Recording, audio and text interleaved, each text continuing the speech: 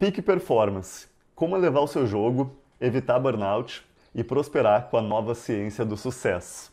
Olá, tudo certo? Aqui é o Rafael Yanti e eu ajudo as pessoas a transformarem suas vidas. E no vídeo de hoje eu estou trazendo aqui um novo formato de vídeo, onde eu fiz uma série de slides para falar sobre algumas ideias que eu aprendi em uma entrevista que eu ouvi no podcast The Art of Manliness. E nessa entrevista é, o, o host ele entrevistou dois autores que escreveram o livro Peak Performance. E aí nessa entrevista eles deram várias ideias de como que a gente pode elevar o nosso jogo, ou seja, como que a gente pode ser bem sucedido, evitando burnout, que é uma sobrecarga e uma síndrome que existe muito no meio de, de trabalho, e como que a gente pode prosperar então uh, usando um pouco de ciência. Então, esse livro aqui, ou essas ideias que eu vou trazer hoje, ela é muito embasada em ciência. Show de bola, mas então antes da gente começar a ver essas ideias, eu preciso dar alguns recados iniciais. E esses recados iniciais são: primeiro, eu preciso pedir desculpas novamente pela minha ausência aqui no canal. Então, um tempo atrás, eu fiz uma promessa de gravar e postar 180 vídeos no prazo de seis meses e esse meu prazo já acabou e eu não cheguei nem perto dessa quantidade de vídeos gravados e eu preciso pedir desculpas por essa ausência.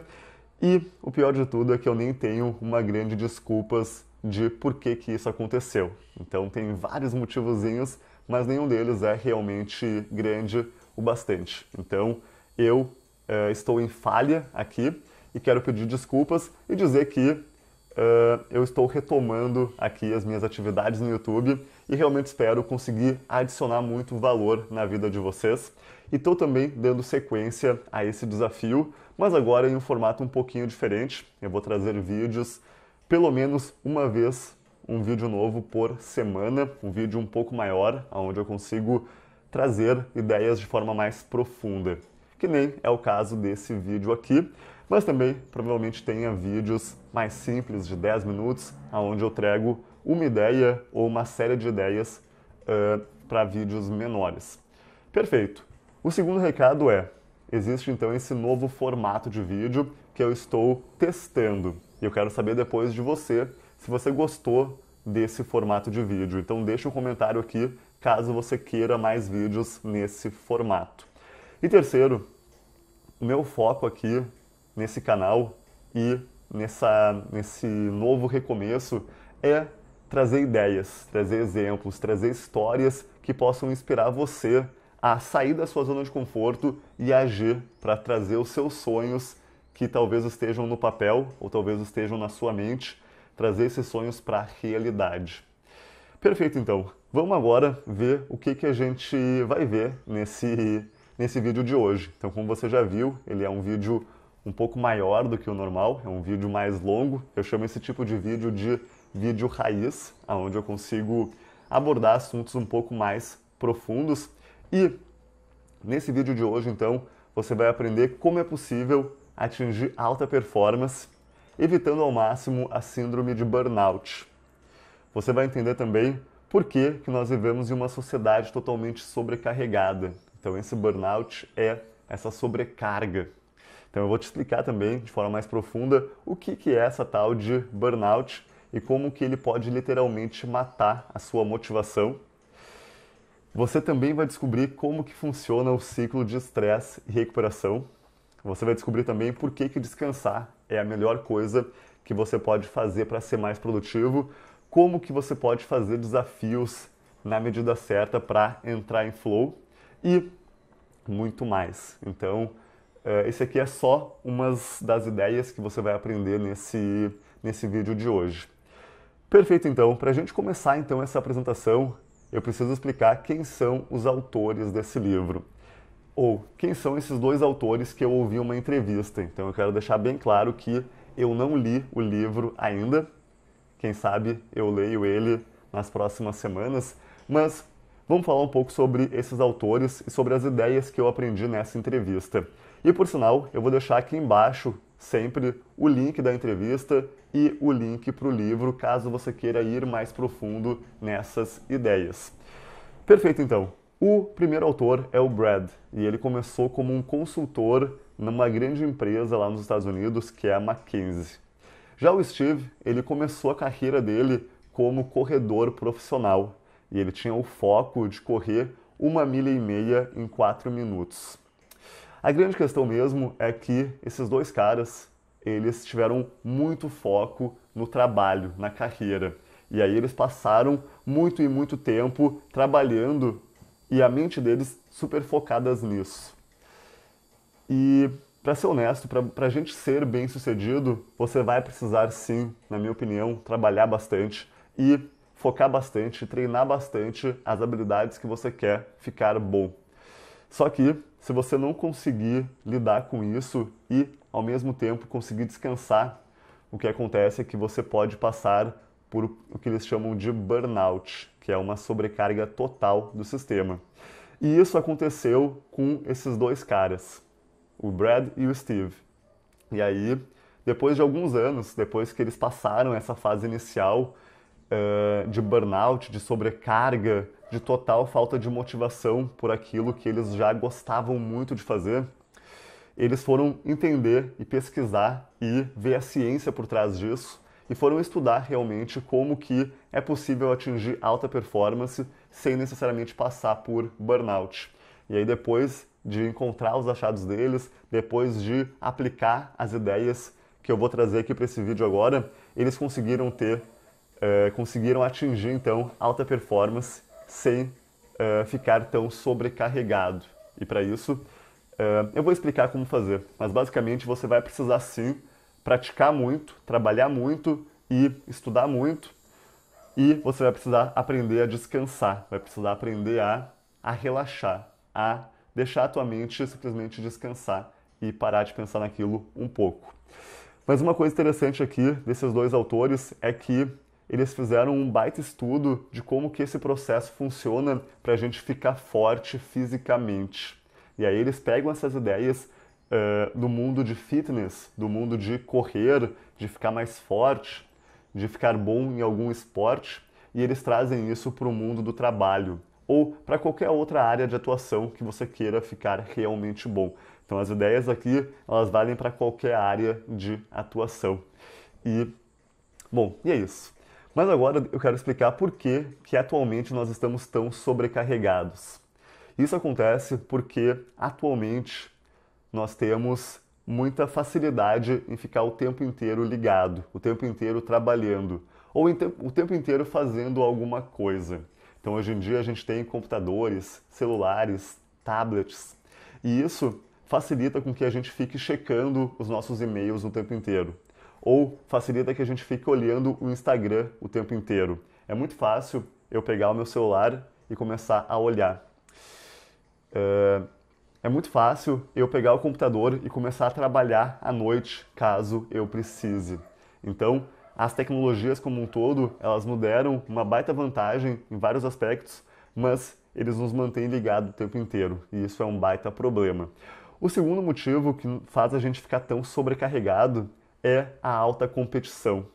E a gente fica achando que se a gente descansar, a gente vai ficar para trás.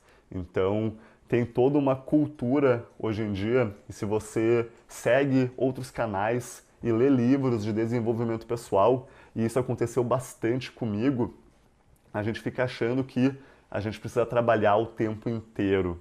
E isso é um achômetro, isso é uma crença que, de uma forma ou outra, foi colocada na sua mente, seja pelos teus professores, seja pelos vídeos que você vê, pelos livros que você lê, e particularmente isso aconteceu bastante comigo. E quando eu vi essa entrevista, eu tive essa grande. Eu fiquei muito mais presente que isso acontecia e eu aprendi muito mais. Eu dei muito mais valor para a parte de descansar, para a parte de simplesmente desliga tudo e descansa e relaxa. Eu acho que esse é o principal motivo de eu ter pego essa, essas ideias aqui para conversar com vocês, porque elas foram muito importantes para mim e acredito que vale a pena ser dividido.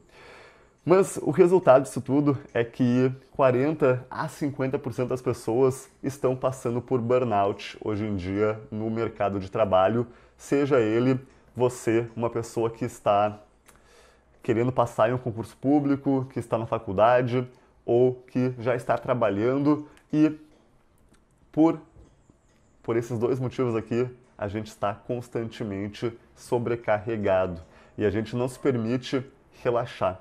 Então vamos ver agora o que, que é exatamente esse burnout. E beleza, olha só. O objetivo desse vídeo aqui também é começar a dar algumas ideias de como evitar essa sobrecarga de, do seu sistema, essa sobrecarga de informação, essa sobrecarga de excesso de trabalho. E eu repito, a melhor forma de fazer isso é aprendendo a descansar. E mais no final do vídeo eu vou trazer três ideias de como que você se permite descansar. Mas antes disso, vamos falar aqui sobre o que, que é então esse tal de burnout. E o burnout ele é o resultado de um período de esforço excessivo no trabalho com intervalos muito pequenos de recuperação. Então você trabalha demais e você não consegue se recuperar tanto. E as imagens que eu trago aqui é para te dar aqui um pouquinho de um pouquinho de imagem de que que é essa pessoa estar sobreca sobrecarregada ou estar em burnout. Mas quais que são os sintomas disso? Os sintomas são dor de cabeça, tontura, fadiga, total falta de motivação, depressão, falta de ar, oscilação de humor, falta de concentração, mãos e pés gelados e uma, um aumento em ansiedade. Então, se você está passando por algum desses sintomas, talvez você esteja passando por burnout. Se você, por exemplo, é, precisou estudar para uma prova por três dias e você conseguiu dormir muito pouco, provavelmente você vai sentir alguns desses sintomas de burnout. Se você é um corredor e corre muito e você correu por três, quatro dias seguidos e não permitiu muito espaço de tempo para o seu corpo descansar, é provável que você esteja passando por burnout. Então, é, como eu falei antes, cerca de metade da população está passando por esses sintomas em um momento ou outro e precisa voltar e aprender a descansar.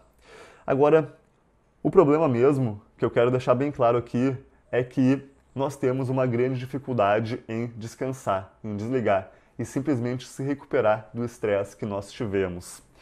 E veja bem, descansar e se recuperar não necessariamente é fazer algo que seja diferente de trabalho ou diferente do esporte que você faz todos os dias. Então, muitas vezes a gente pensa, tá, Rafa, eu fui para casa e eu liguei o Netflix para ver uma série. Vamos supor que você esteja vendo Games of Thrones. E você acha que isso é descansar. E minha resposta para você é que não. É, ver Games of Thrones não é estar descansando.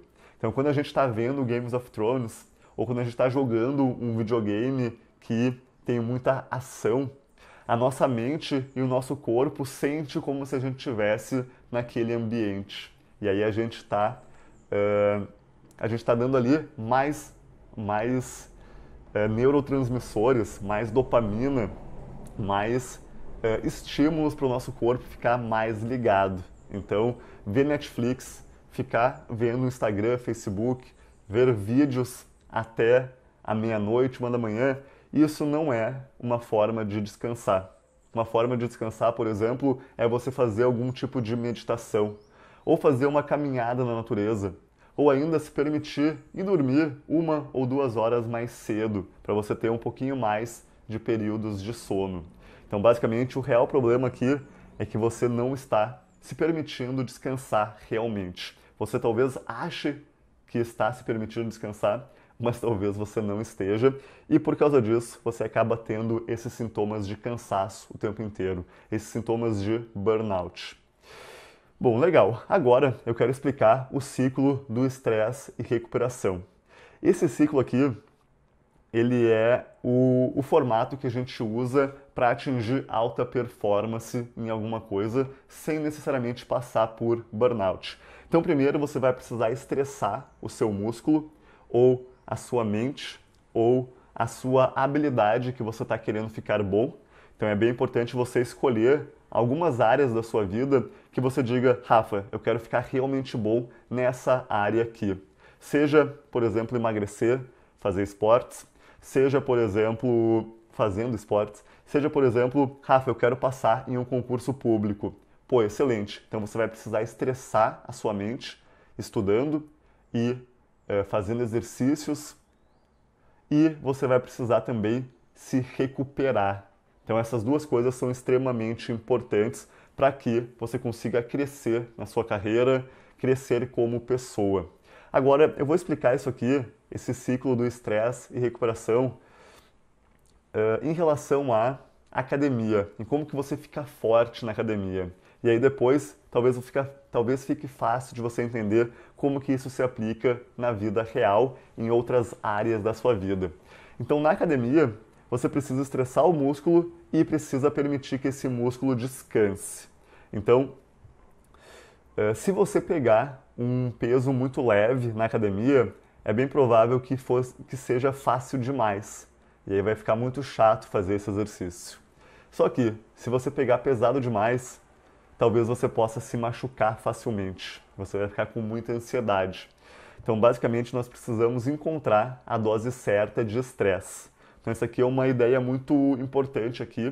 Eu vou repetir ela mais uma vez daqui um pouco, mas você precisa encontrar então o peso ideal que você queira, que você deve puxar na academia para que não seja nem tão fácil demais, nem tão difícil demais. E talvez esse peso seja de, digamos que 25 quilos, seja o teu começo. E aí, aos poucos, conforme você vai estressando o músculo e vai permitindo uma certa recuperação, ai ai ai, conforme você vai estressando o músculo e tendo uma certa recuperação e permitindo recuperação por alguns dias, aos poucos você vai aumentando o nível de estresse. Então, depois de duas semanas com 25 quilos, talvez você possa aumentar para 30 quilos. Talvez depois de mais duas semanas para 35 quilos. E você vai aumentando o nível de estresse, mas sempre uh, proporcionando a dose certa também de recuperação, sempre permitindo que o corpo descanse também.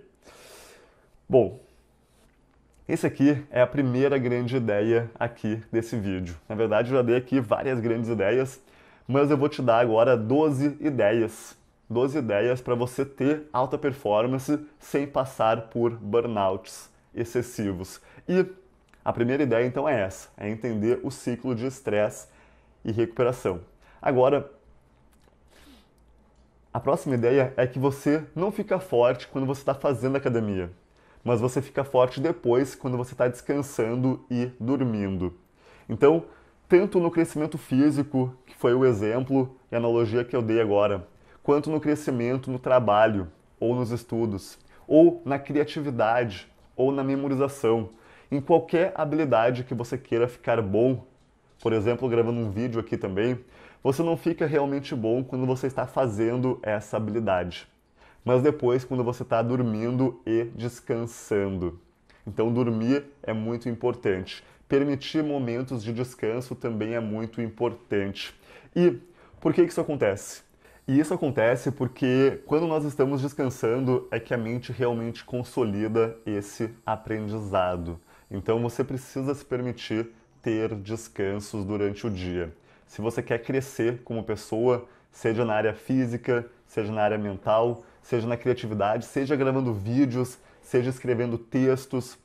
Independente da, de qual habilidade você queira melhorar, você precisa primeiro aplicar um certo estresse, praticar aquela habilidade e se permitir descansar.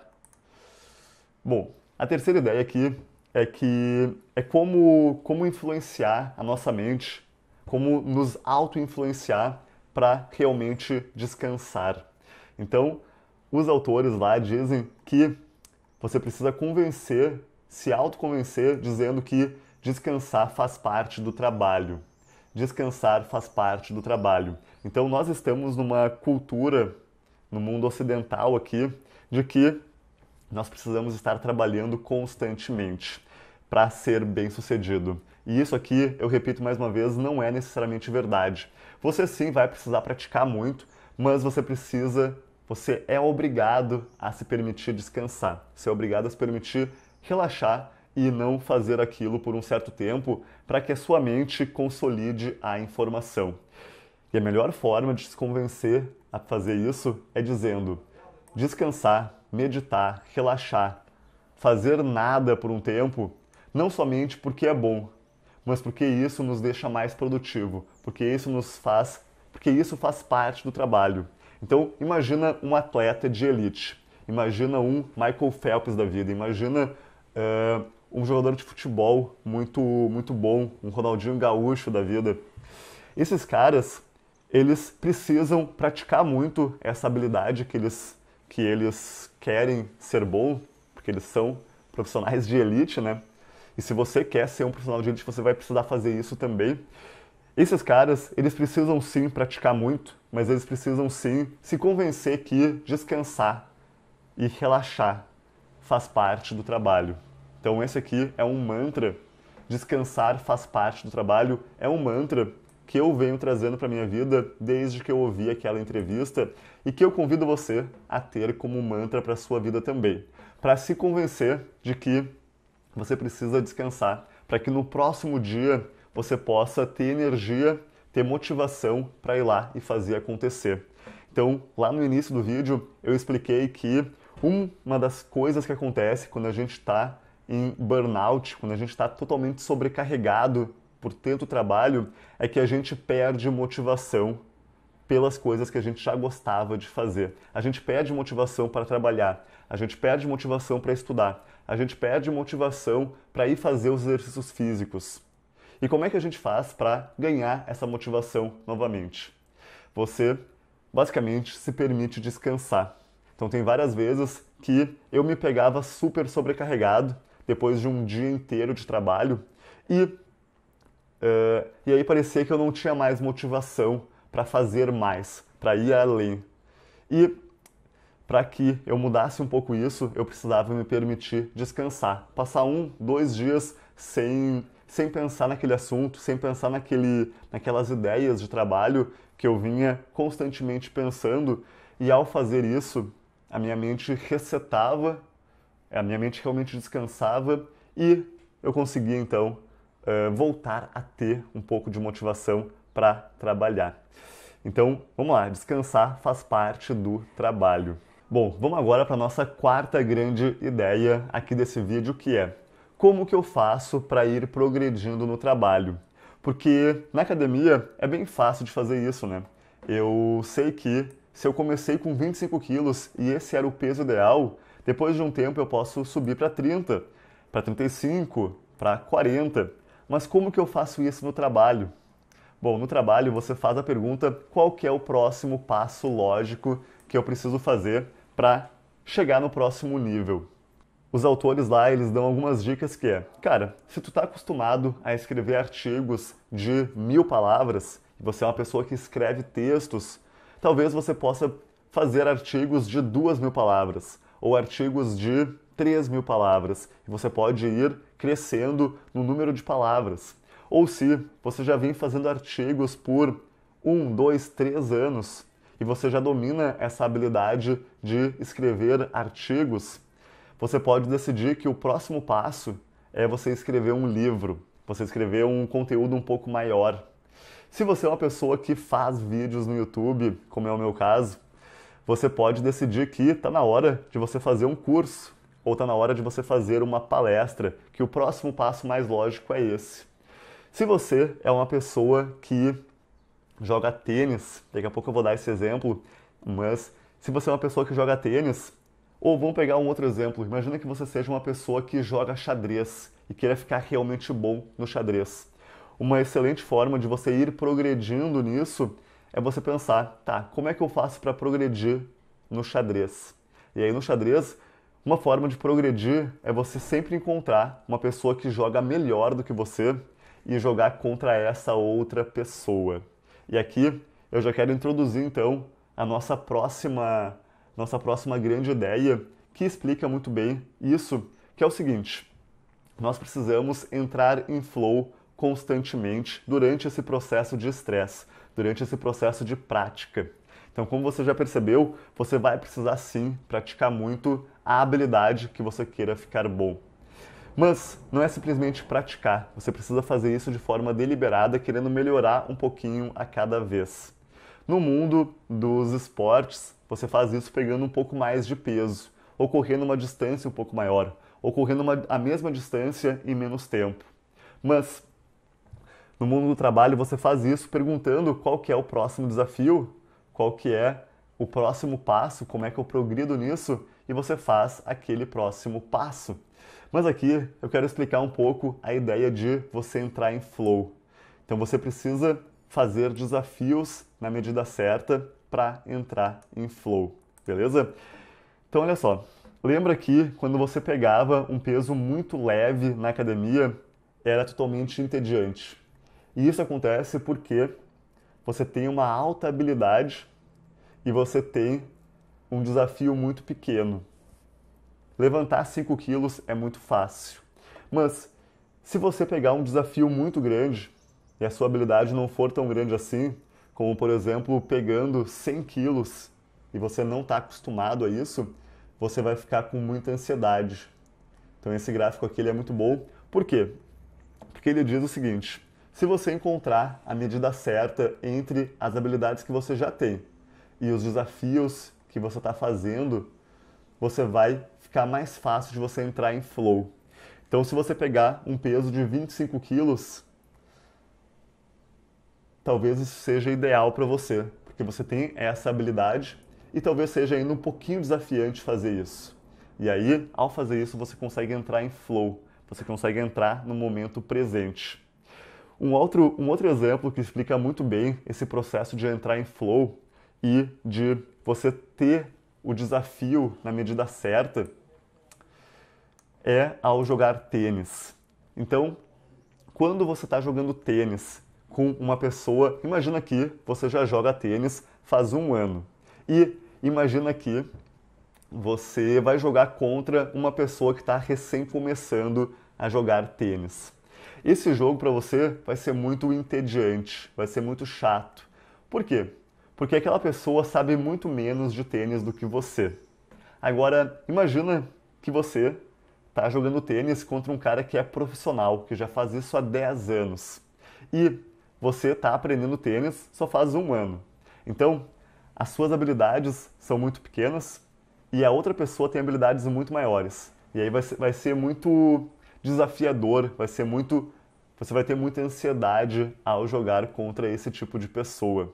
Então, para você entrar em flow, para você ter a medida certa de prática, é você encontrar uma pessoa que saiba jogar tênis um pouquinho melhor do que você. Ao você jogar contra aquela pessoa que sabe um pouquinho mais do que você, faz com que você entre em flow e você fica num desafio ideal, aonde você vai jogar e vai dar o seu melhor para poder melhorar suas habilidades e ganhar daquela pessoa.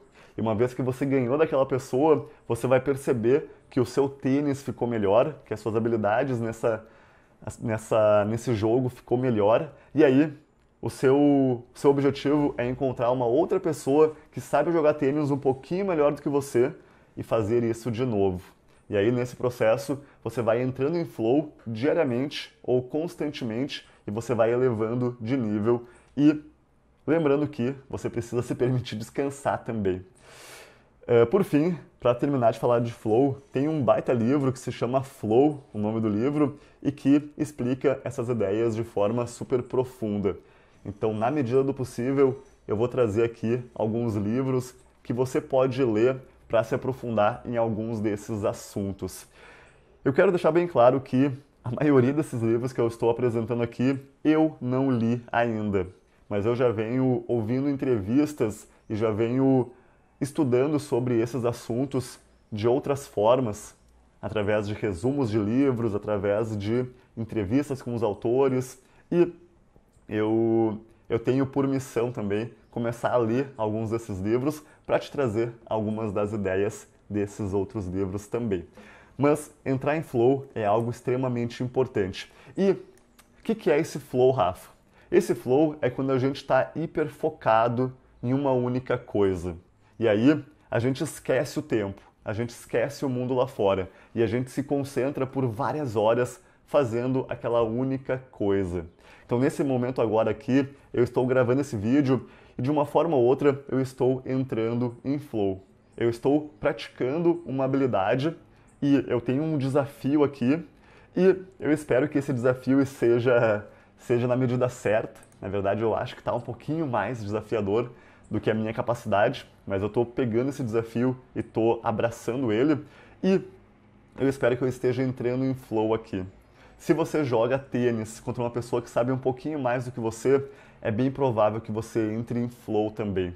Se você faz qualquer coisa que você tem uma certa habilidade e que você consegue colocar um pouquinho mais de desafio do que a habilidade que você tem, você vai entrar nesse momento aqui aonde você entra em flow.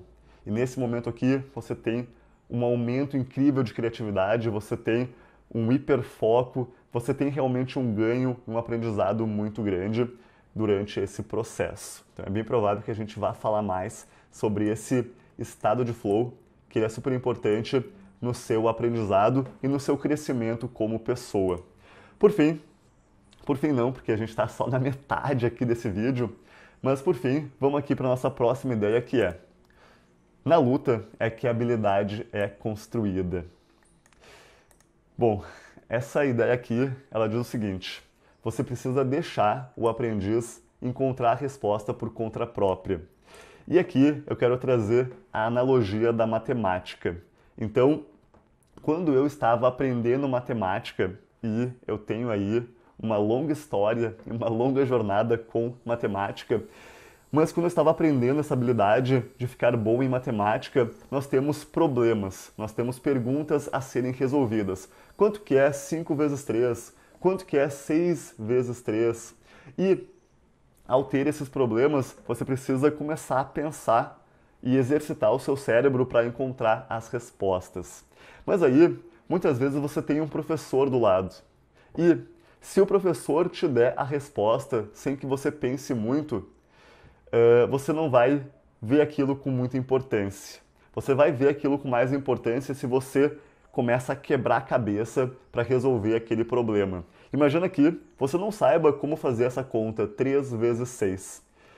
E aí você fica pensando, pensando, pensando e descobre, tá, 3 vezes 6 é 6 mais 6 mais 6. E aí você começa a contar nos dedos. E claro que esse nível de conta aqui é lá de uma criança, mas se você pensar que a criança, para aprender a fazer essas contas, ela precisa fazer perguntas e questões bem fáceis no começo. E aos poucos ela vai conseguindo resolver aquelas perguntas e questões e ela vai ganhando confiança nela mesma e vai elevando de nível e vai pegando desafios cada vez maiores. Então, a ideia aqui é que você precisa se permitir uh, você precisa se permitir um tempo para encontrar as respostas das suas perguntas. Você precisa se permitir um tempo para praticar aquilo e quebrar a cabeça naquilo para ficar realmente bom. E isso aconteceu comigo muito fortemente na matemática. E se você já aprendeu matemática, você deve ter essa sensação também. Se o professor te desse a resposta facilmente, você não prestaria muita atenção, talvez você não aprenderia muito bem aquela matéria, mas se você foi lá, quebrou a cabeça e descobriu por conta própria, você vê aquilo com muito mais valor e você realmente aprendeu aquilo. Mas isso também aconteceu comigo no inglês. Isso também aconteceu comigo ao aprender malabarismo. Então essa aqui foi uma habilidade que eu aprendi também. Eu fazia muito malabarismos com garrafas de plástico. E também isso aconteceu aqui comigo nos vídeos ou nos artigos que eu já escrevi bastante. Mas aí, a minha dica final aqui para essa ideia é: você precisa aprender a se permitir falhar. Então, hashtag se permita falhar. Se permita ir lá e fazer a questão e errar uma, duas, três vezes. Se permita ir lá e treinar a técnica de malabarismo uma, duas, três vezes. Ou se permita uh, aprender aquela palavra ou aquela frase em inglês, se você está aprendendo inglês, uma, duas, três vezes. E aí, se você não entendeu aquilo ainda, depois de ter tentado, tentado, aí sim você pode ir atrás do professor e perguntar, cara, como é que eu, como é que eu descubro isso? Como é que faz isso? Mas aí você já fez um esforço, você já colocou esforço naquilo e ao ter posto aquele esforço, você começa a valorizar aquele aprendizado. E aí, por mais que o professor te dê a resposta daquilo, você pelo menos valoriza e realmente aprende e melhora. Imagina no tênis isso. Imagina que você está jogando tênis e você esteja com dificuldade em alguma, em alguma técnica no tênis. Nesse caso, você poderia simplesmente ir lá e pedir para o seu professor como é que faz. Mas talvez você não dê valor para aquilo e você não aprenda aquilo realmente. Mas se você se esforçar, tentar por conta própria e ainda assim não conseguir, pelo menos depois, quando você for buscar a resposta, o seu professor vai lá e vai dizer: não, olha só, é assim, assim, assado, e você vai então valorizar muito mais aquilo e realmente aprender aquilo. Vamos agora para a nossa sétima ideia, que é a seguinte: aprenda a ficar confortável no desconforto. Como tu pode ver, eu já tive que trocar de camiseta, nós já estamos no outro dia aqui, não consegui gravar tudo no mesmo dia. Acho que o desafio estava muito grande para aquele momento. Mas é isso aí, faz parte do show e vamos agora para a nossa sétima ideia, que é essa. E essa sétima ideia, ela vem muito próxima com a ideia anterior que eu estava explicando. Então, aqui na ideia anterior, a luta, quando a gente está lutando e quebrando a cabeça para resolver um problema, uma dificuldade dessa habilidade que a gente está aumentando, a gente está no desconforto, a gente está desconfortável.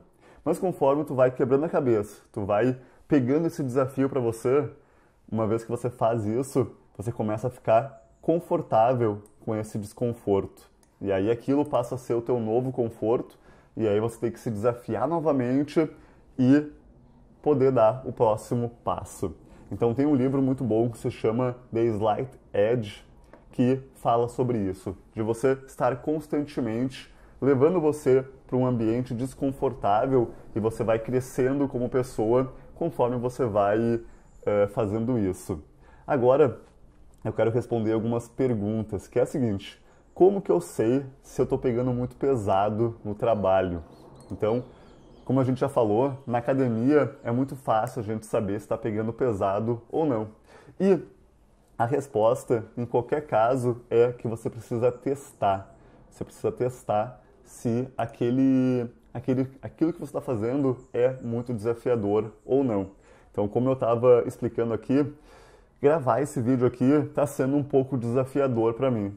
Então, eu já sei que isso aqui eu vou precisar trabalhar um pouco isso para esse desafio, esse desconforto ficar um pouco mais confortável com o passar do tempo. Mas você vai lá e testa, você vai lá e vê se aquilo é muito pesado ou se é muito leve. Então, na academia, você vai testar se o peso de 100 quilos é muito leve ou muito pesado. Se for muito pesado, você pega um peso mais leve. Se for um peso muito leve, você pega um peso mais pesado. E na vida, nas outras habilidades que você vai desenvolver, você precisa fazer o mesmo. Você precisa encontrar um, um desafio ideal, um desafio que seja parecido com o nosso flow aqui, onde você tem as suas habilidades e você tem o desafio que você está fazendo e tem que ser algo ideal. A habilidade e o desafio tem que ser praticamente o mesmo. O bom mesmo é quando o desafio está um pouquinho maior do que a habilidade e aí você vai focar para conseguir melhorar e você vai entrar em flow, você vai entrar num estado de hiperfoco. Bom, mas vamos voltar aqui e vamos falar agora da nossa oitava ideia. E essa ideia aqui, eu diria que ela é um pouco contraditória, porque eu vou gravar vídeos futuramente onde eu vou explicar umas ideias de que você pode ser sim muito bem sucedido sem achar que trabalhar é difícil, sem achar que ficar milionário é difícil. Mas essa ideia aqui, ou essa mentalidade aqui que os autores trazem para o livro, ou que eles trouxeram lá pro pro podcast que eu ouvi, diz o seguinte: diz que muitas vezes a gente não pensa que a jornada que a gente vai seguir vai ser tão difícil. E aí a gente pensa que ser um empreendedor de sucesso não é difícil, correr uma maratona não é tão difícil, chegar à fluência do inglês não é tão difícil assim, ou ficar milionário. Então, o problema mesmo é que quando a dificuldade do processo da jornada chega, muitas pessoas acabam desistindo dessa jornada. Então a pessoa quer aprender inglês, começa a aprender, acha que não vai ser tão difícil, mas depois a realidade vem e ele vê que não é bem assim, que ele vai ter que estudar por muitas horas, que ele vai ter que praticar aquela habilidade por muitas horas e isso acontece com todas as áreas da nossa vida. Então, o problema é que a gente desiste. E a solução aqui que eles trazem e que eu estou trazendo é você aceitar o fato de que algumas jornadas vão ser difíceis. Em alguns momentos, essa jornada não vai ser tão simples. Então vamos lá, quando a gente está começando algo novo, a gente está com uma motivação lá em cima. Só que, é, conforme a gente vai fazendo aquilo, a gente começa a ver que aquilo é um pouco difícil e muitas vezes a nossa motivação vai caindo. E quando isso acontece, muitas pessoas desistem nesse momento onde a dificuldade começa a aparecer. E aí uma outra solução que eu trago aqui é você pensar o seguinte: se fosse fácil, todo mundo faria. Esse aqui é uma frase que eu aprendi com o Jerônimo Temel, que é um coaching e é um palestrante muito foda aqui no Brasil. E ele tem essa, esse mantra: se fosse fácil, todo mundo faria. Então, se fosse fácil ficar milionário, todo mundo ficaria. Ou aprender inglês, ou ser um empreendedor foda, ou uh, chegar ao alto nível de qualquer habilidade não é tão simples assim. E aí vai ficar difícil de vez em quando, e quando ficar difícil, você lembra que se fosse fácil, todo mundo faria. E você fica mais persistente, você fica mais, você vai mais longe ao ter esse mantra com você. Por fim, ainda falando desse, desse assunto, eu quero dizer que você precisa aprender a aproveitar a jornada mesmo que ela seja desafiadora, mesmo que ela seja difícil em alguns momentos. Então, uma vez que você começa a sua jornada e você tem dificuldades, você pensa, se fosse fácil, todo mundo faria, mas ao mesmo tempo, aproveita essa jornada, ao mesmo tempo, se diverte, ao mesmo tempo, tenta encontrar meios de fazer essa, essa, essa jornada mais prazerosa. Então, quando eu estava aprendendo inglês, por exemplo, eu aprendi como eu aprendi como aprender inglês de forma prazerosa. Então, basicamente, uma das formas que eu fazia era pegar seriados que eu gostava, como Friends, e eu assistia esses seriados em inglês, com legenda em inglês, e ao fazer isso, eu estava me divertindo ao assistir o seriado e ao mesmo tempo eu estava aprendendo inglês. Ou ainda, eu estava, por exemplo, lendo livros de desenvolvimento pessoal, que é uma coisa que eu gosto muito, e, e eu estava lendo isso em inglês. E aí eu aprendia as ideias que eu queria aprender de desenvolvimento pessoal, ao mesmo tempo que eu estava aprendendo o inglês. E isso aqui você pode implementar em outras áreas da sua vida. Se você quer ficar rico, pô, legal, eu também quero. Então, por que não uh, pegar uma paixão que você tem por algum assunto, por alguma coisa, e você vai trabalhar naquilo. Então, por exemplo, imagina que você uh, imagina que você gosta muito de música. Imagina que você seja um advogado. Vamos lá. Pô, legal. E você pensa assim, bah, mas ah, ficar milionário é, é difícil, não dá dando certo e tal. E aí eu digo, cara, legal, mas tu pode continuar por um tempo com a sua carreira de advogado mas se você gosta tanto de música, você pode também começar a ir atrás de transformar a música na sua carreira de alguma forma, sendo um produtor, sendo um compositor. E aí você pode ficar milionário escrevendo, compondo, tocando músicas, ao invés de ser um ao invés de ser um, um advogado, beleza? Mas é isso. Então, o final aqui diz o seguinte: aprenda a aproveitar a jornada, mesmo que em alguns momentos ela vai ser difícil. Então, no caso do exemplo de virar um músico, se assim você quer, quiser, essa jornada também tem os seus desafios. Qualquer jornada tem desafios, mas aí você tem que encontrar elementos nela que fazem aquilo ser prazeroso, beleza? E uma das coisas que faz uma jornada ser prazerosa é você ver que você está subindo, é você ver que você está tendo progresso, beleza? Então vamos agora para a nossa nona ideia, que é a seguinte: transforme ansiedade em animação. Transforme ansiedade em animação. Pô, legal. Então aqui em cima a gente estava falando sobre aprender a ficar confortável no desconforto. E quando você se coloca em ambientes desconfortáveis, ambientes com um alto desafio, é normal que você tenha uma certa ansiedade. Então faz de conta que você pegou um desafio muito grande para você. Você foi jogar tênis com um cara que sabia muito mais do que você e você começa a ficar ansioso. Ou imagina que você precisa fazer uma palestra na frente de 100 pessoas e aquilo parece muito desafiador e você começa a ficar ansioso. Pô, legal. Legal não, porque isso não é tão bom assim, tu fica estressado. Mas aí, a ideia aqui é você transformar essa ansiedade em animação. Então, olha só, o seu corpo, ele entende ansiedade e excitação e animação da mesma forma.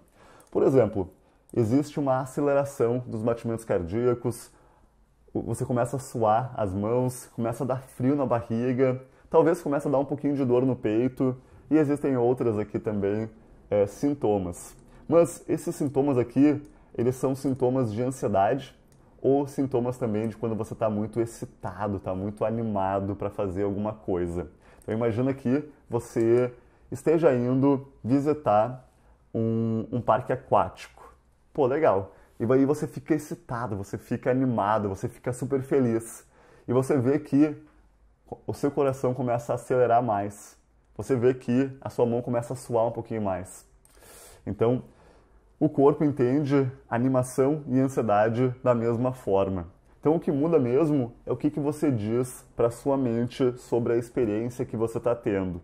Ou você diz que você está pirando e que você está muito nervoso quando você está indo falar em público, por exemplo. Ou você diz, cara, quer saber? Eu estou super animado. Estou super animado porque eu estou fazendo uma coisa que me desafia. E eu estou super animado porque eu vou conseguir falar com centenas de pessoas e compartilhar as minhas ideias e as minhas mensagens. Então, essa nona grande ideia aqui diz o seguinte: quando você estiver ansioso ao falar em público, fazer uma prova, apresentar um trabalho, participar de uma entrevista de emprego, ou quando você for abordar um estranho para pedir alguma coisa e você começa a ter aquela ansiedade. Quando você quiser chegar em uma garota para chamar ela para sair para um encontro. Ou quando você for pedir a sua namorada ou namorado em casamento. Isso tudo são exemplos de momentos onde a gente fica um pouco ansioso. Diz para você mesmo o seguinte: eu estou super animado. E ao fazer isso, a sua mente começa a entender e dar um novo significado para aquelas, para aquelas sensações que ela está tendo de aceleração do batimento cardíaco, suor nas mãos, frio na barriga, dor no peito. Então, uma vez que você faz isso, fica tudo mais simples e você consegue fazer uma apresentação em público de forma muito mais tranquila. Então, esse aqui eu quero explicar uma coisa. Todas essas ideias que eu estou dando aqui, elas são ideias que foram testadas cientificamente. Isso tudo aqui foi testado e, uh, e tem vários estudos científicos que comprovam isso tudo. Então, se você quiser ir mais profundo e entender toda a parte científica do que eu estou explicando agora, eu sugiro que você primeiro compre o livro para ler o livro e segundo, depois você pode ir ver os estudos que demonstram tudo isso. E essa ideia aqui é uma dessas ideias que é muito bem explicada em estudos científicos. Agora vamos para a nossa décima ideia, que diz o seguinte: faça trabalho profundo.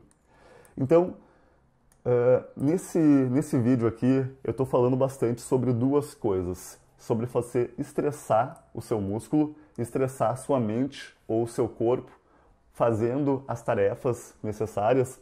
Só que para você ficar bom nisso, em estressar e fazer uma boa prática daquilo que você está fazendo, você precisa saber fazer trabalho profundo. E existe um livro muito bom que fala sobre isso, que se chama trabalho profundo, como ter sucesso em um mundo distraído.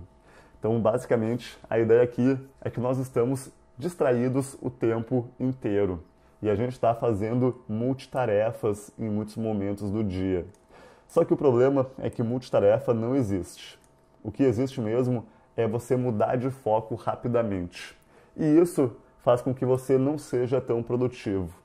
Então, é, para você fazer uma boa prática do esporte que você quer fazer, ou fazer uma boa, uma boa prática de trabalho, você precisa aprender a desconectar completamente do mundo e fazer trabalho profundo. E para isso, uma das ideias é você separar blocos de tempo de 30 a 90 minutos para você ficar focado em apenas uma atividade. E ao fazer isso, você vai ser super produtivo, você vai entrar naquele estado de flow que eu falei anteriormente e você vai conseguir fazer, talvez em uma hora, o que você demoraria três horas para fazer se você tivesse distraído. E aqui, a, a minha ideia é você agendar esse momento onde você vai fazer trabalho profundo. Imagina que você queira começar a meditar. Pô, legal. Então você separa na sua agenda é, 10, 20, 30 minutos para você ficar lá tranquilo e conseguir meditar. Então aqui eu coloquei alguns exemplos como, no meu caso, gravar vídeos. Eu preciso agendar esses momentos aqui. Depois, ler livros, meditar, é, blocos de trabalho. Você pode também agendar ver amigos e ficar totalmente focado em ter aquela experiência e aquela conversa com o seu amigo. Então, esse processo de trabalho profundo, de fazer algo sem ficar distraído, é extremamente importante para você ter alta performance e, e, ao mesmo tempo, não passar por burnout. Bom, por fim, agora uh, que, nós, que eu já falei um pouquinho sobre várias ideias aqui de como que você faz um pouco mais desse estresse, onde você encontra um nível de estresse que você está confortável ou um pouquinho desconfortável e a sua missão é praticar aquilo e ir aumentando aquele estresse aos poucos para você ir saindo da sua zona de conforto e ir ficando confortável no desconforto. Agora, eu vou passar aqui para uma outra fase que é: eu vou te dar três práticas para você descansar e se recuperar realmente. Porque uma das grandes ideias aqui desse vídeo é você aprender a descansar, é você aprender a relaxar e eu vou te dar três ideias que eu aprendi lá naquela entrevista para você fazer isso. E a primeira ideia é você deixar a sua mente devagar em alguns momentos do dia.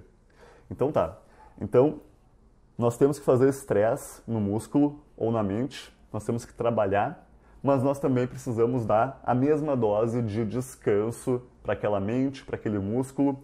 E uma das formas de fazer isso é deixar a mente devagar em alguns momentos do dia. Por exemplo, imagina que você está numa fila de um banco, ou esperando um ônibus, ou você está em algum momento entediante por exemplo, almoçando com um amigo seu e o assunto que vocês estavam conversando acaba. Pô, legal. O normal é que as pessoas peguem o celular e comecem a olhar as notificações, as mensagens, os e-mails. E aí, o que acontece mesmo é que a nossa mente está o tempo inteiro ligada, está o tempo inteiro no, no modo on.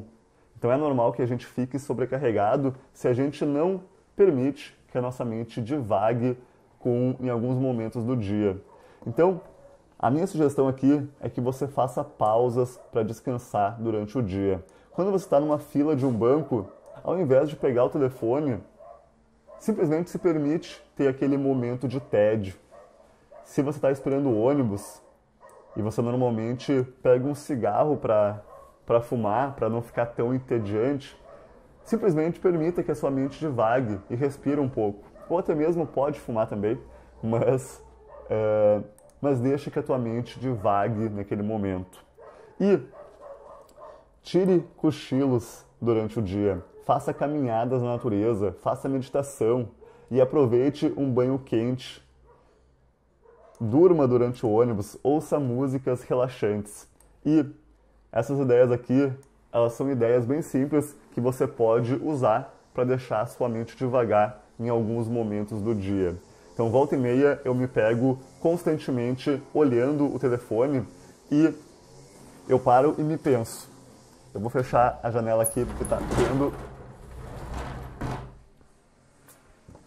Bom, mas então tem momentos no dia que eu tô olhando o telefone constantemente.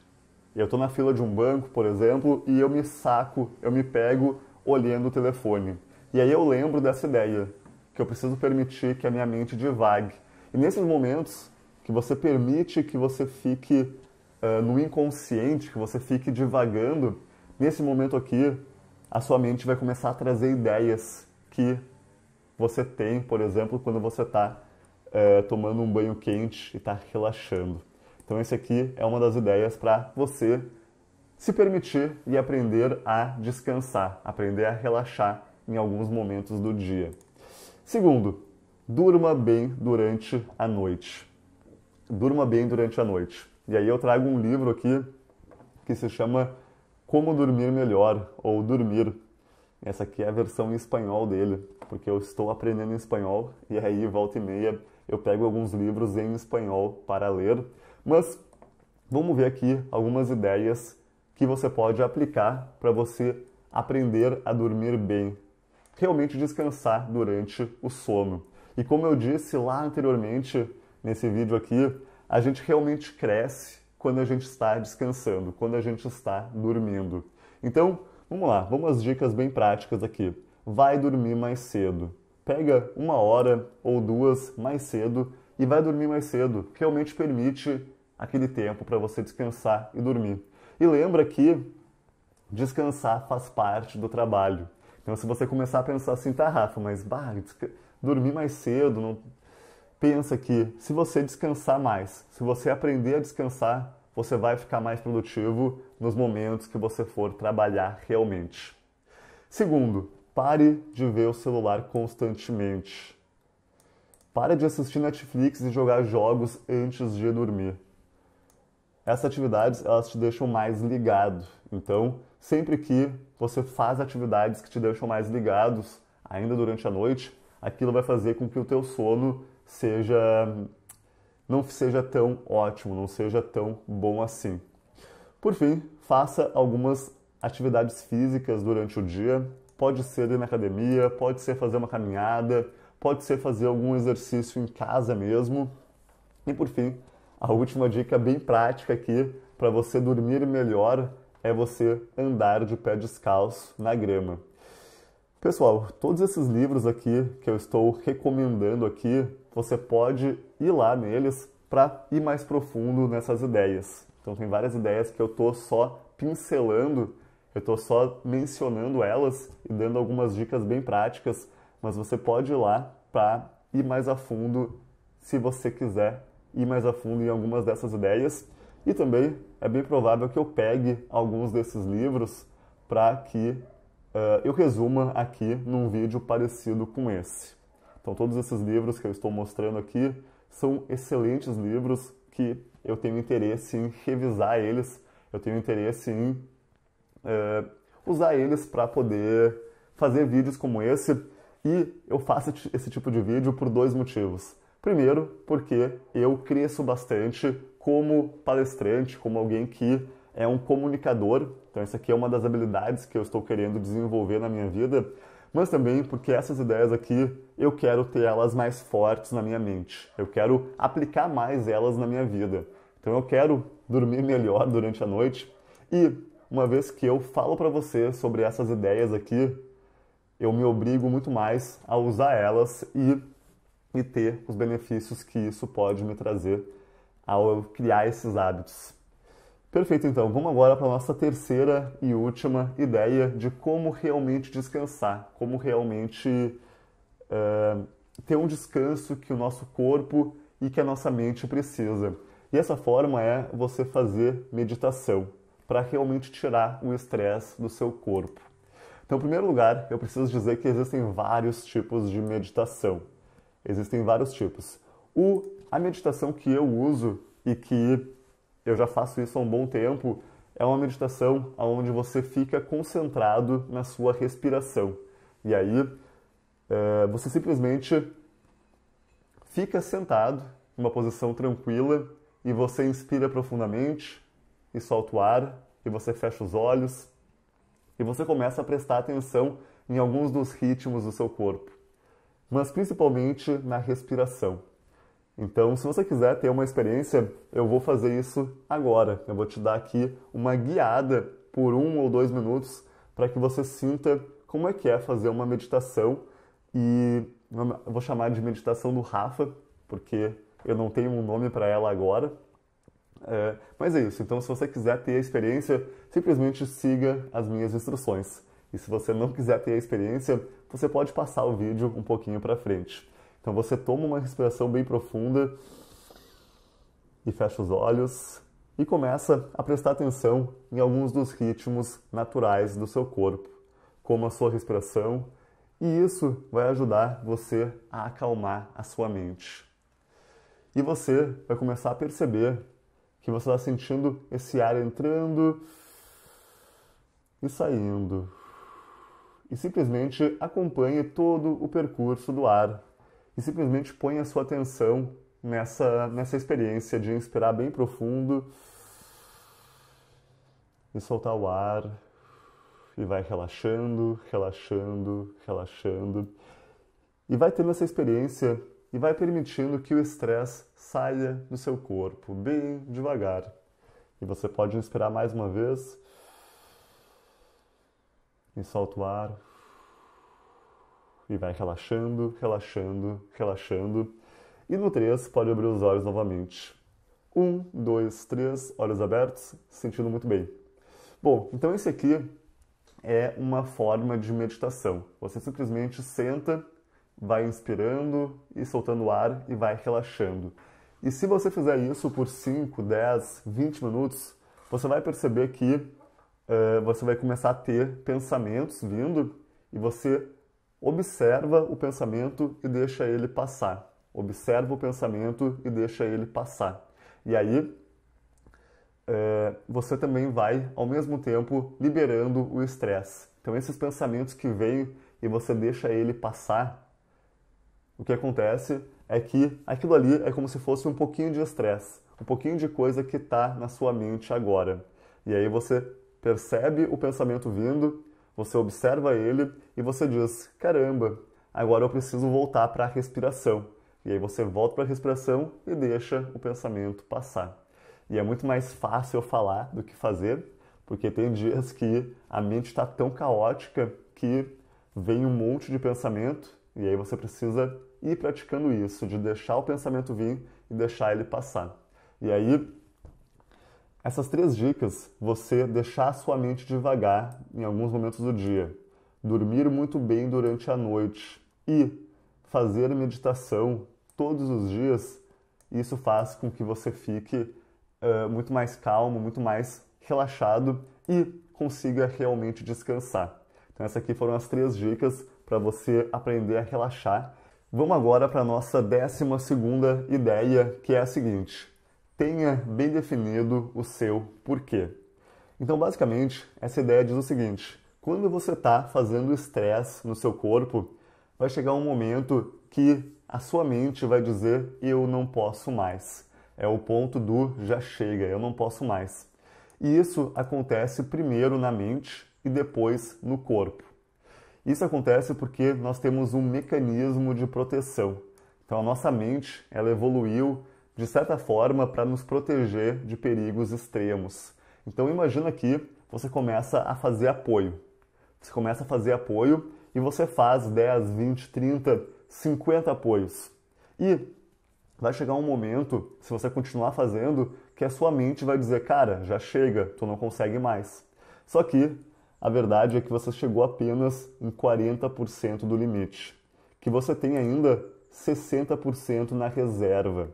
Então, a grande ideia aqui é que muitas vezes a gente faz estresse, mas a gente está fazendo estresse muito abaixo do que a gente é capaz de fazer. A gente poderia dar muito mais aqui. E claro que, uma vez que você dá muito mais aqui, você precisa também dar muito mais em relação a descansar depois que você fez aquele estresse. Mas aqui, explicando melhor essa ideia, existe uma balança entre a motivação, ou seja, os seus porquês, os motivos de por que, que você está fazendo aquilo que você está fazendo e a sua percepção de esforço. Então, muitas vezes, a gente está achando que está se esforçando demais. E aí, se a nossa percepção de esforço for maior do que a nossa motivação, o que acontece é que você não vai ter motivação suficiente para fazer aquele esforço. Então, o importante mesmo é você lembrar qual que é o seu porquê, você lembrar e definir bem qual que é os motivos de por que, que você faz alguma coisa e você perceber que aquele esforço que você está fazendo está bem menor do que o esforço que você poderia fazer perto da motivação que você tem. Então, a, a grande ideia aqui é você pegar essa balança aqui e elevar a sua motivação lá para cima. E aí não vai ter esforço que você faça que chegue no topo daquela motivação, beleza? Por fim, explicando ainda essa ideia de motivação, quando a gente faz, por exemplo, se eu disser para você agora assim, cara, então, Começa a pensar por que, que você faz aquelas habilidades, por que, que você está seguindo aquela jornada que você quer seguir. Por que, que você quer ficar milionário? Por que, que você quer aprender inglês? Por que, que você quer ficar forte? E aí você começa a escrever os seus motivos de por que, que isso acontece, por que, que você quer isso. Legal, quando a gente faz esse processo e a gente começa então a estudar inglês ou a seguir a nossa jornada pela liberdade financeira ou qualquer outra jornada, a nossa motivação está aqui em cima e a nossa percepção de esforço talvez esteja aqui. Só que, conforme o tempo passa, a motivação vai caindo e o esforço que você percebe que está colocando está aqui em cima ainda. E aí pode chegar um momento que você desiste por causa disso. E aí a dica aqui é você lembrar dia após dia, semana após semana, qual que é o seu porquê. E aí aquela motivação pode subir de novo e aí você vai ter é, vontade e motivação de fazer o que você precisa fazer. Então vamos lá. Os foras de série, ou seja, as pessoas de alta performance, elas encontram significado no seu trabalho. Elas encontram uma causa maior. Então esse processo de encontrar o seu porquê é um processo de encontrar uma causa maior naquilo que você faz. E tem um livro muito interessante que se chama Comece pelo Porquê, que ele explica melhor essas ideias que eu estou explicando aqui nesse ponto. E agora, também para explicar essa ideia, eu quero contar a história dos três trabalhadores. Essa história, ela diz o seguinte: ela diz que um repórter um dia foi para uma cidade e ele começou a perguntar para três pedreiros o seguinte: o que que você faz? O que que você faz da vida? E o primeiro pedreiro diz o seguinte: Cara, eu coloco um tijolo em cima do outro. Esse é o meu trabalho. O segundo pedreiro, ele fala o seguinte: Eu estou construindo uma igreja. E o terceiro pedreiro, ele diz o seguinte: Cara, eu estou ajudando a construir o maior monumento de toda a região, que vai abrigar a casa do Senhor e vai ficar de pé por centenas de anos. Bom, o resumo da história aqui é o seguinte: você precisa de uma causa maior para levar a sua motivação lá para cima. O pedreiro número um, ele não tinha uma grande causa. Ele só colocava um tijolo em cima do outro. E isso aqui não motiva ninguém a fazer um bom trabalho como pedreiro. Já o segundo pedreiro, ele até tem um pouco mais de motivação. Ele está construindo uma igreja. Talvez aqui tenha um pouco mais de causa. Mas esse terceiro pedreiro, ele consegue ver que ele vai construir um monumento que vai ser o maior da região e que vai abrigar a casa do Senhor e vai ficar de pé por centenas de anos. E talvez ele diga ainda que esse trabalho que ele faz ajuda a sustentar a família dele. E ele adora fazer isso porque ele está crescendo como empreendedor próprio, sei lá. Então, aqui eu quero explicar bem essa importância de você encontrar o seu porquê. Definir bem esse porquê e lembrar ele constantemente. Por fim, aqui eu quero falar um pouquinho rapidamente desse livro que se chama Men's Searching for Meaning, que é um homem procurando por significado. E esse livro aqui, ele conta a história de um cara que encontrou significado no meio de um centro de concentração dos judeus lá na época da Segunda Guerra Mundial. Então, naquela época, os judeus foram perseguidos e foram colocados em centros de concentração e esse cara aqui conseguiu encontrar significado naquele meio. Então muita gente acha, cara, mas eu não vejo muito significado no meu trabalho de pedreiro ou no meu trabalho de investidor ou seja lá o trabalho que você faz. E a verdade é que você consegue e pode encontrar, encontrar significado em qualquer assunto. Por fim, é, eu quero falar aqui de um mantra que eu comecei a ter depois que eu ouvi aquela entrevista, depois que eu ouvi um pouco dessas ideias daqui. E o mantra é que os meus vídeos transformam vidas. Os meus vídeos transformam vidas. Então lá na entrevista, o host ele começou a explicar que teve uma época que ele precisava fazer relatórios. E aí ele fazia relatórios para empresas de medicamento. Só que aí tinha dias que ele não estava motivado em fazer aqueles relatórios. E aí teve um momento que ele recebeu uma ligação. Ele recebeu a ligação dizendo, de uma pessoa dizendo que aquele relatório tinha ajudado ela em tal e tal assunto, mas basicamente aquela pessoa teve a vida salva depois de ler aquele relatório. E aí ele começou a perceber que aquele relatório dele salvava vidas. E aí, depois de eu perceber isso, eu olhei aquilo, eu olhei aquele exemplo e disse: caramba, talvez para muitas pessoas os meus vídeos aqui passem a salvar a vida delas. Passem a elas ver algum desses assuntos aqui de uma forma um pouquinho diferente. E aí talvez ela seja super ansiosa. Vamos ver onde é que está isso aqui. Talvez ela é uma pessoa super ansiosa e ela começa a perceber que ela pode trocar ansiedade por animação. E talvez só esse detalhe, só ouvir essa ideia aqui, já faça ela ela ter a vida salva de alguma forma. E aí eu comecei a ter esse mantra de que os meus vídeos transformam vidas.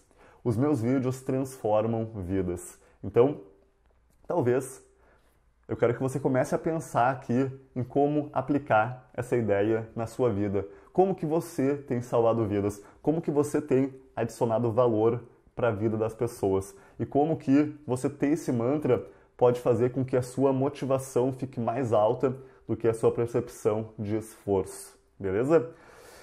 Bom, pessoal, mas então, falado isso tudo, esse aqui foi o, nossa, o nosso vídeo completo, o nosso aulão do Rafa, aonde eu busquei uh, trazer aqui algumas das ideias que eu aprendi naquela entrevista com os autores do livro Peak Performance.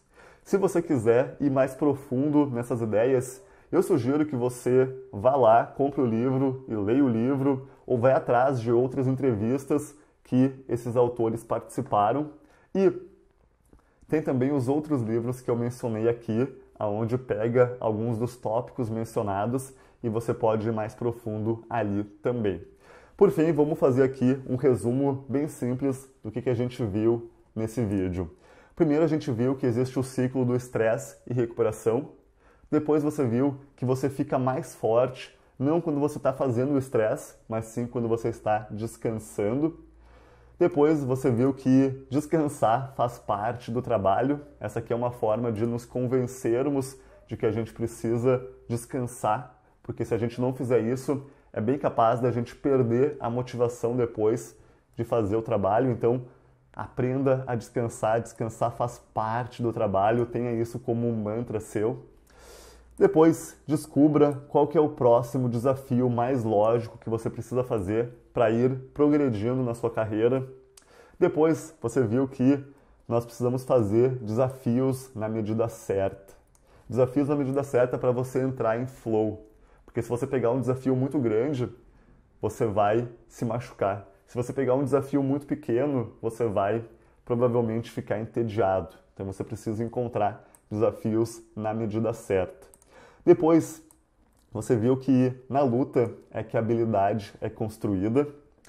Depois você viu ainda também que você precisa aprender a ficar confortável no desconforto. Então você vai constantemente pegando desafios que são desconfortáveis e você resolve eles e vai ficando confortável no desconforto. Depois você ainda viu que se fosse fácil, todo mundo faria aquilo. Então, quando fica difícil, tenha com você esse mantra. Se fosse fácil, todo mundo faria. Depois você viu ainda que você pode transformar ansiedade em animação. Vimos também que é importante fazer trabalho profundo para realmente ser produtivo. Depois ainda você aprendeu três práticas, três ideias para você descansar realmente. Então a primeira era deixe a mente devagar, durma bem e faça meditação. E por fim, a última ideia é descubra o seu porquê. Descubra e lembre qual que é o seu porquê. Bom, pessoal, mas então é isso. Esse aqui foi o nosso vídeo de hoje, Peak Performance, como elevar o seu jogo, evitar burnout e prosperar com a nova ciência do sucesso. Se você Uh, gostou desse vídeo, deixa aqui embaixo um comentário me dizendo o que, que você achou. Me diz qual dessas ideias que você mais gostou, qual delas você vai aplicar. A minha sugestão muitas vezes é que você pegue essas ideias aqui, que você anote elas no papel e que você comece a pensar em como aplicar elas na sua vida. Porque você precisa sair do ouvir ideias, aprender ideias e começar a aplicar algumas dessas ideias na sua vida. Claro que nem sempre você vai conseguir aplicar todas as ideias, mas eu espero que nesse vídeo aqui você tenha percebido que essa parte aqui muitas vezes é o que está faltando para nós. Muitas vezes a gente sabe o que fazer para estressar o músculo ou para estressar a nossa mente. Se você quer passar num concurso, é bem simples, você precisa estudar, você precisa ler, você precisa fazer exercícios, exercícios das questões. Mas se você não aprender a se recuperar, talvez você fique muito cansado e, e é isso. Então, nesse vídeo aqui, o ponto mais importante, na minha opinião, é aprender a se recuperar, é aprender a descansar, é fazer um pouco mais dessas três práticas aqui. Bom, pessoal, mas é isso então. Se você gostou do vídeo, deixe um comentário, compartilha e a gente se vê de novo no próximo vídeo. Um forte abraço e até mais.